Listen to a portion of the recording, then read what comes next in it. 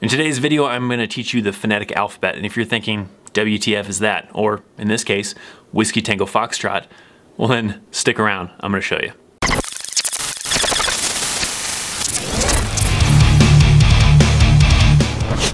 What's up, I'm Christopher Chaos and welcome to Military Mondays and today I am showing you the phonetic alphabet. Some people refer to it as the military alphabet.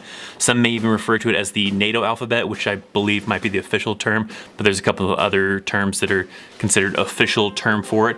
But what is the phonetic alphabet or the NATO alphabet or the military alphabet? You may have heard the phonetic alphabet being used and not known that that's what it was. In fact, there's a Bloodhound Gang song called Foxtrot Uniform Charlie Kilo.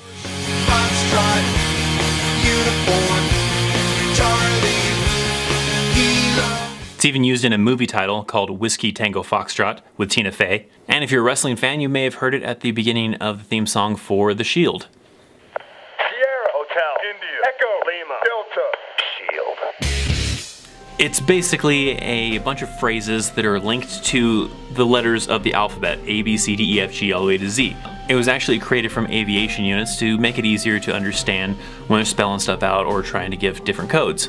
The military commonly uses it when doing stuff over the radio to be able to spell something out or be able to identify certain sections of a report. Sometimes it can be handy for veterans or even just regular old civilians to utilize it to help spell stuff out to somebody over the phone. For example, I've had to do it many times where I'm talking to someone on the phone and I'm trying to spell out my last name and they're not sure if I said a B or a V. And it's just easier sometimes to say B as in Bravo. Now the word Bravo is associated with the letter B in the phonetic alphabet. But there are 25 other phrases that represent each letter in the 26 letters of the alphabet. But in this video, we're going to go through all of the characters of the alphabet and the phrases that go along with each letter. If you don't want to listen along, you can also check the description down below on YouTube, and I have a written version of it that you can print off and memorize if you wish.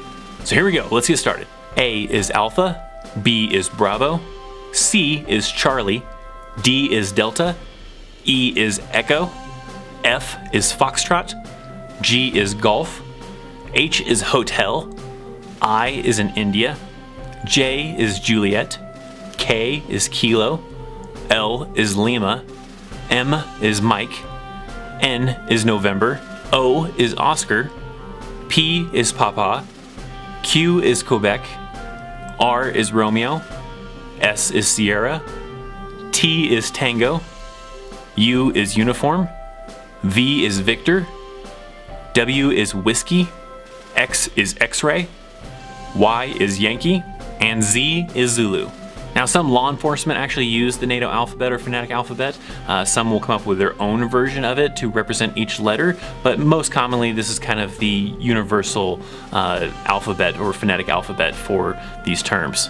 Now as a bonus, there's also a couple of numbers in the military that we kind of pronounce differently to make sure that people understand what number we are saying. For example, three is actually said as tree, like the tree that's in your backyard or front yard or something. And nine, you probably heard it before on radio talk for truck drivers, but nine is actually niner.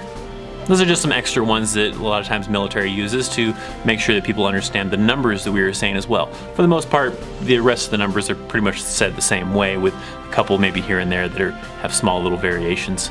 So there you go, there is the NATO alphabet, the phonetic alphabet, whatever you want to call it, but if you want to memorize it, down in the description, like I said, is a copy of it that you can copy and paste to your computer and try to memorize it yourself.